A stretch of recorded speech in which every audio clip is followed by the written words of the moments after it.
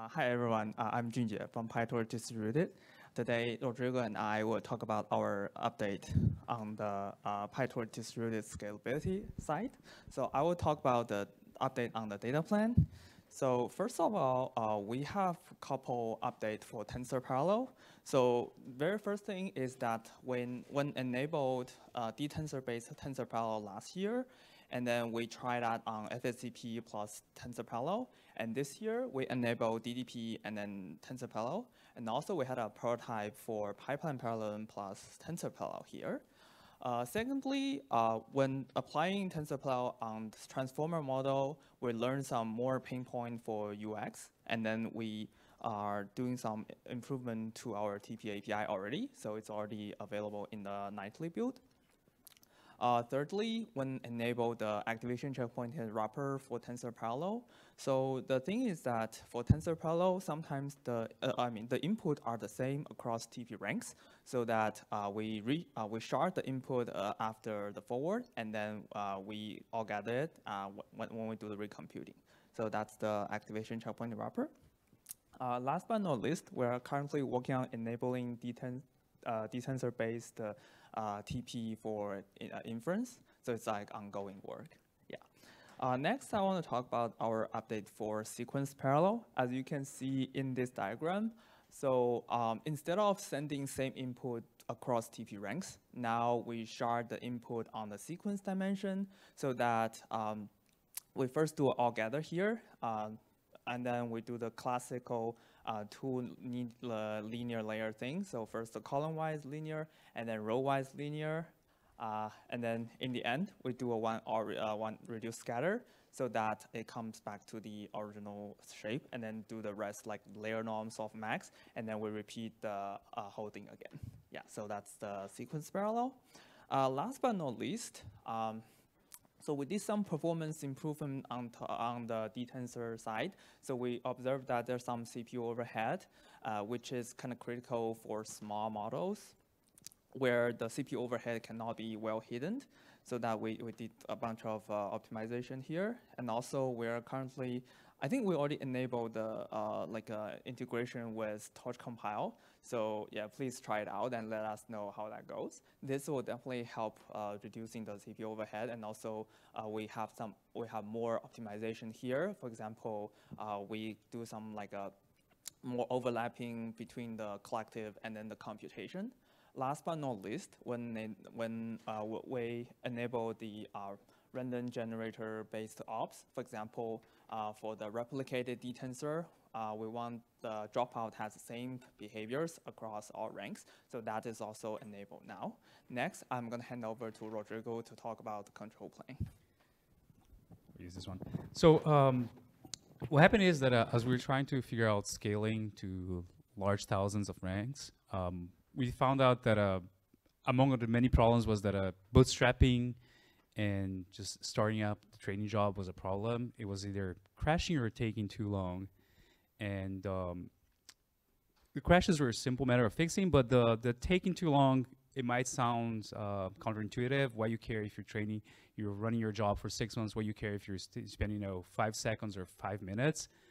But um, as you scale up training, there is this reality that um, um you're gonna have experience significantly more hardware failures. So you're going to have multiple times a day your large cluster just failing because I don't know hardware is just getting worse because of physics, and it means that you know we need to, you need to be able to um, restart your job significantly faster as a way to keep making progress.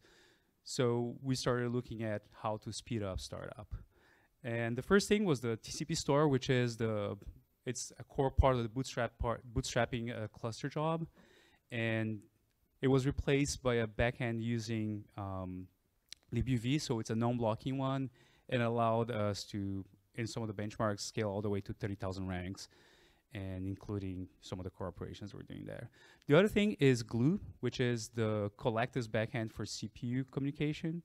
Um, it is, it might be surprising where you're training, you know, doing GPU training and you still need to do CPU communication, but CPU communication is surprisingly useful for things like uh, data loading, checkpointing, or even if you're doing data, you know, data dependent, you know, collectives where your size change. So if you're doing things like mixture of experts.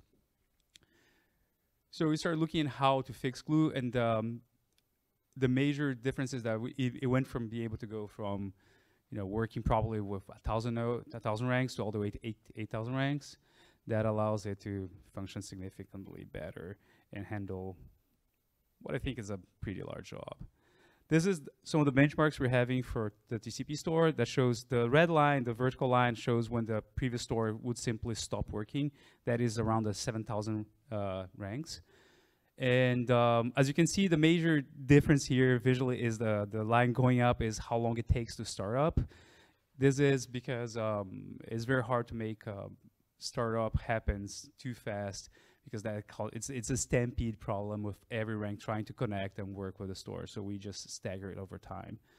And the other one, the the the flat lines on the bottom, those are uh, when you're implementing uh, a barrier, which is a coordination operation where all ranks um, wait for each other to to achieve that point. And um, it is a useful synchronization primitive, especially startup, to make sure that everyone, all ranks are on the same point where they're ready to start training and um, uh, it now has essentially you know constant time up to 32,000 ranks. The other thing is, as we as we address those issues, you know, like the crashes or the lack of scalability, we found out that uh, at scale, um, it's very hard to build tools for uh, for operators.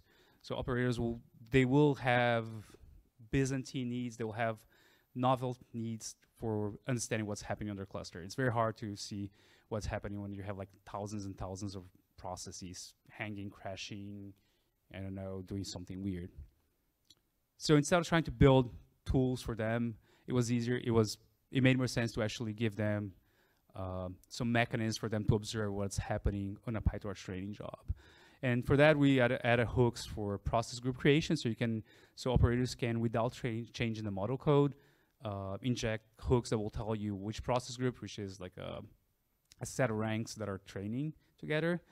Uh, allows you to get notifications when those things are created so you can um, observe them knowing how your cluster is partitioned.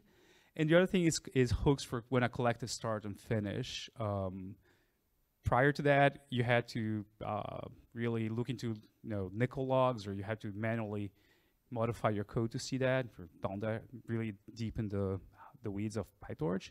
With those hooks, you can actually observe, you know, like uh, when the collectives are queued into the GPU and when they finish. That allows tools that are, are very big asks, like for example, straggler detection, which is when one, where you have a single machine that is slower than the others, and you want to be able to detect that. So for example, you can either, you know, you know, restart your job without the machine or try to see, you know, try to understand what is there so operators can actually, in real time, be able to troubleshoot those machines. And the other important thing is hangs and crashes. So for example, when there is some sort of fault and um, your collective just hangs, the default behavior of PyTorch is just to crash after half an hour. This allow this hooks allows operators to build tools that uh, can let them in real time detect those issues and um, detect, troubleshoot, and even you know, like uh, go there manually inspect those no those failing nodes. That is uh, that we believe it will significantly improve their know, quality of life and productivity. And that's it. Uh, we'll take questions now.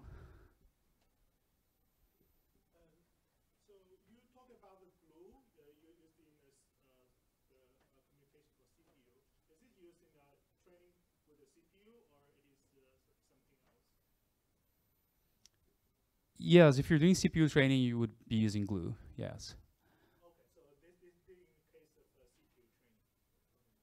Uh, no, so so um, it's more like a so Gloo is where the tens where the data you're communicating, it's always on CPU memory.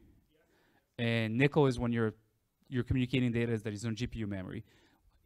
It just happens that even if you're doing GPU training, uh, you still need to exchange data that is on the CPU side without going through the GPU. Yeah, or, or you're just communicating metadata that doesn't belong to the GPU.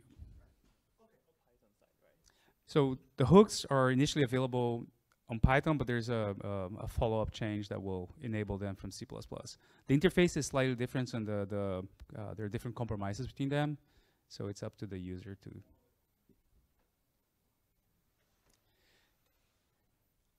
um, the original design, I'm not sure if they changed. Um, but the original design is that the Python hooks is supposed to be easier to use, so they have uh, they make the least amount of assumptions, impose the minimal set of assumptions on the user. So you know you can do whatever you want. You can do blocking calls, you can crash, you can do whatever. On the C++ side, you cannot block because you're called from within uh, within like a critical thread from Python. So you're not supposed to block. You're supposed to handle exceptions. You're supposed to be well behaved so there there's like we have there's like two kind of process groups. There's Gloo and there's NCCL. Um, so NCCL you use when the data is all on the GPU, and Gloo is when y all your data is on the, on the CPU side. Um, in general, you want to avoid bouncing the data between the two because that is uh, that introduces a lot of synchronization and slowdown. So that's why you have two different implementations, and you and you optimally want to use them separately.